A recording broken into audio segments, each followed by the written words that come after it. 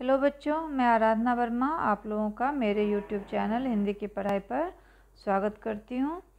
बच्चों, आज हम लोग कक्षा दस का हिंदी पुस्तक स्पर्श दो का पाठ नंबर पाँच, जो कि पदभाग का पांचवा पाठ है, पर्वत प्रदेश में पावस, उसको पढ़ने जा रहे हैं। ये एक कविता है और इस कविता के जो कवि हैं, वो हैं सुमित्रानंदन पंत जी। सुमित्रानंदन पंत जी के बारे में कहा जाता है कि वे एक छायावादी कवि थे, जो कि प्रकृति से बहुत ज़्यादा प्यार करते थे। इसलिए उनके लिखे कविताओं में प्रकृति प्रेम उनका बहुत ही सरस तरीके से झलकता था। वो जब कविता करते थे प्रकृति पर आधारित तो ऐसा लगता था जैसे कि जो उस कविता को पढ़ रहा हो या सुन रहा हो तो उसे ऐसा कल्पना होने लगता था जैसे जिस प्रकृति की वो वर्णन कर रहे हों, वो प्रकृति की वो छटा उस व्यक्ति के आसपास मौजूद हो। इस तरह से वो उस पाठ को पढ़ते समय महसूस किया करते थे। तो सुमित्रानंदन पंत जी के लेखन का ये एक विशेषता था। तो इसमें भी सुमित्रानंदन पंत जी, प्रकृति की, का बहुत अच्छा वर्णन किए हैं, खासकर पर्वत प्रदेश का और पर्वत प्रदेश में होने वाले वर्षा ऋतु का वो बहुत ही सुंदर वर्णन किए हैं। तो चलिए हम लोग इसको देखते हैं। पाठ का नाम है, कविता का नाम है, पर्वत प्रदेश में पावस। पावस का मतलब होता है बच्चों, बारिश।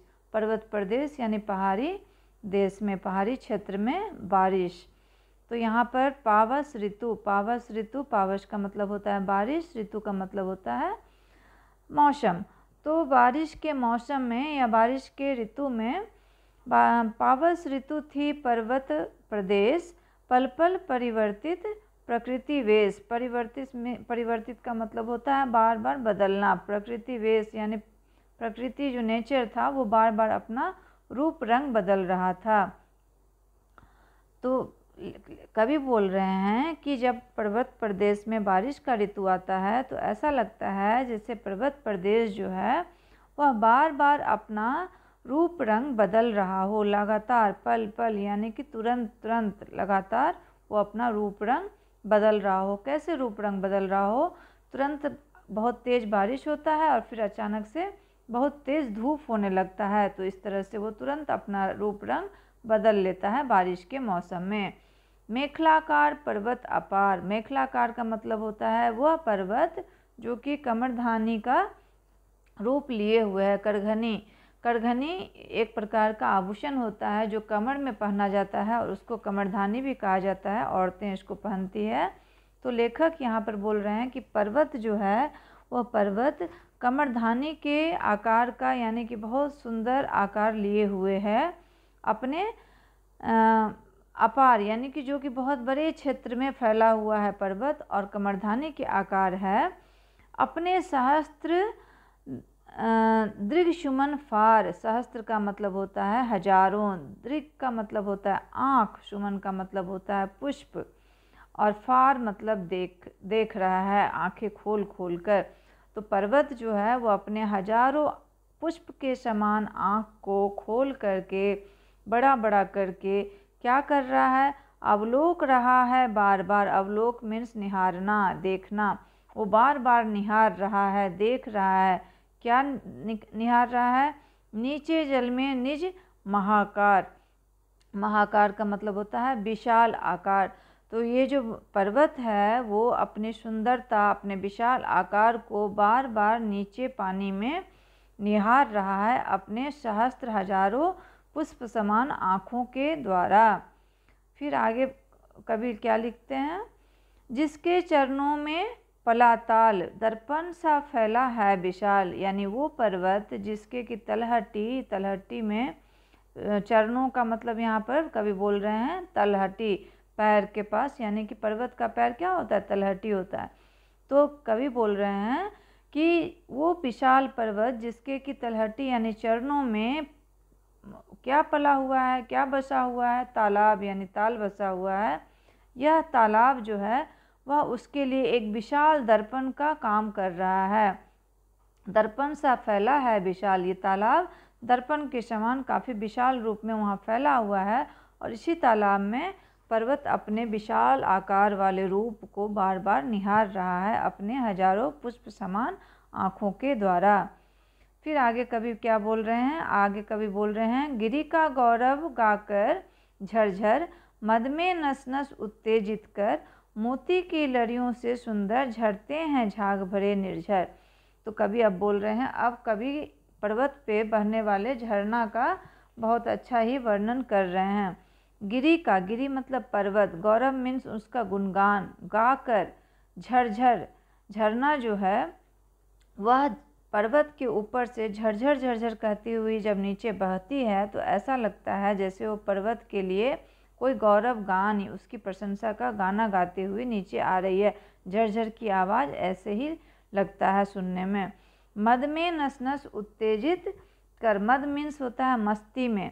ऐसा लगता है जैसे वो मस्ती में इठलाती हुई पर्वत के ऊपर से नीचे उसका गुणगान करते हुए गिर रही है तो वो झरझर की आवाज़ जो है वो सुनकर लोगों को ऐसा लगता है जैसे कि लोगों के मन में, उनके नस नस में उत्तेजना यानी मस्ती भर रही है, ये झरना अपने आवाज़ से। मोती की लड़ियों से सुंदर, जब वो नीचे गिरती है पर्वत के ऊपर से तो वो बिखरती है। तो ऐसा लगता है कि माला की लड़ी है और उस लड़ी में से ये पानी की जो, पानी के जो बूंद गिर रहे हैं वो मोती हैं। ऐसा लगता है कि माला की लड़ी में से ये मोती के समान पानी के बूंद टूट टूट कर गिर रहे हैं और देखने में बहुत सुंदर लग रहे हैं। झरते हैं, झाग भरे निर्झर। तो उसके बाद जब ये नीचे गिरती हैं, ये मोती रूपी झरना के जो बूंद हैं, वो नीचे जब गिरता है तो गिरने पर कैसा लगता है कि ये नीचे गिरने पर एक झाग, यानी कि एक फेन जैसा पैदा कर रहा है, जो कि क्या होता है? मस्ती लाने वाला एक समा बाँध रहा है। ये निर्झर झरना गिरिवर के उड़ से उठ उठकर उच्च आकांक्षाओं से तरुवर। तो आगे कभी बोल रहे हैं कि गिरिवर गिरिवर मीन्स पहाड़। ये जो पहाड़ हैं, इस पहाड़ के उर यानी कि हृदय से उठ उठकर उच्च उच्च आकांक्षाओं से तरुवर। तरुवर का मतलब होता है पेड़। उच्च आकांक्षा मतलब ऊपर उठने की जो उनकी आकांक्षा यानी इच्छा है। तो पर्वत के हृदय से उठने वाले ये बड़े बड़े पेड़ ऊँचे ऊँचे पेड़ जो कि और ज़्यादा ऊपर उठने की आकांक्षा लिए हुए है है झाँक रहे नीरव नव पर। ये ऐसा लगता है जैसे कि ये ऊपर की तरफ़ बढ़ते जा रहे हैं और ऊपर जैसे जैसे बढ़ रहे हैं तो लगता है जैसे ये झाँक रहे हैं, यानी ताक रहे हैं। किस पर? नीरव नव पर। ऊपर आसमान पे वो ऊपर आसमान की तरफ़ नीरव मीन्स होता है शांत बच्चों। तो शांत आकाश की तरफ़, नव का मतलब होता है आकाश, शांत नीरव नस, यानी शांत आकाश की तरफ़ ये बढ़े जा रहे हैं और ताके जा रहे हैं, देखे जा रहे हैं। अनिमेश यानी एक टक, अटल बिना हिले डुले, कुछ चिंता पर। एक टक बिना हिले डुले, वो लग रहा है जैसे कि किसी चिंता में वो डूबे हुए हैं, लेकिन वो लगातार फिर भी ऊपर उठे जा रहे हैं, शांत आकाश की तरफ़ बढ़े जा रहे हैं अपने उच्च आकांक्षाओं बढ़ने की इच्छा को लिए हुए। तो ये ऐसा लग रहा है जैसे कि ये पेड़ जो हैं, हम मानव को कुछ संदेश दे रहे हैं, चाहे कितनी भी कठिनाई आए, अपनी आकांक्षा, उच्च आकांक्षाओं को पूरा करने के लिए अपनी नज़र को एक ही जगह टिकाए हुए ऊपर की तरफ़ बढ़ते जाइए, ऐसा वो संदेश दे रहे हों। पहाड़ी पर। आगे कभी क्या बोलते हैं? उड़ गया अचानक लो भूधर। भूधर का मतलब होता है कि ज़मीन धरती पर जो पेड़ हैं तो फड़का अपार पारद के पर। बोल रहे हैं कभी कि जब बारिश रुक गया है पर्वत पे और उसके बाद बहुत तेज़ धूप निकला है तो ऐसा लग रहा है कि ये जो धर भू, धरती पर जो पेड़ पौधे थे वो सब अचानक से गायब हो गए हैं कुछ दिख नहीं रहे हैं। क्यों ऐसा हो रहा है? फड़का अपार पारद के पर। पारद का मतलब होता है बच्चों पारद के मतलब एक प्रकार का जो आ, मेटल होता है पारा उसके बारे में बोला गया पर का मतलब होता है पंख। तो वो बोल रहे हैं कि जब बारिश रुका है और बहुत तेज़ धूप निकला है तो ऐसा लग रहा है कि पहाड़, यानी भूधर पर जो पेड़ पौधे थे, भूधर का मतलब पहाड़ है बच्चों भूद पहाड़ पर जो पेड़ पौधे थे वो अचानक गायब हो गए हैं, क्योंकि बारिश के बाद का ये तेज़ धूप जो है, वो इन पानी को जो वहाँ पानी जमा हो गया बारिश के कारण, उसको भाप बना बना करके इस तरह से एक कुहासा और धुआँ का माहौल पैदा किए हैं, जिसमें कि कुछ भी एक भी पेड़ पौधा कुछ भी नज़र नहीं आ रहा है।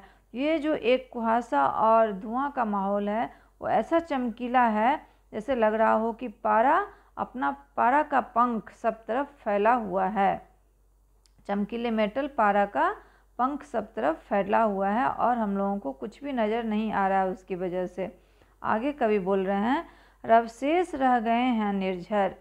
ये आगे कवि बोल रहे हैं कि रब शेष यानी कि चारों तरफ़ शांत आवाज़ रह गया है। रब रब मीन्स होता है आवाज़, शांत आवाज़। शेष मीन्स बच जाना। किस चीज़ का शांत आवाज़? रह गए हैं निर्झर। ये जो झरना बह रहे हैं, बस कुछ दिख तो नहीं रहा है, सिर्फ़ झरना बहने का जो एक शांत आवाज़ पूरे पहाड़ी पर फैला हुआ है, वो शांत आवाज़, शांति में बस झरने का वो शांत आवाज़ ही गूंज रहा है, जिससे लग रहा है कि आसपास कुछ हो रहा है। है टूट पड़ा भू पर अंबर।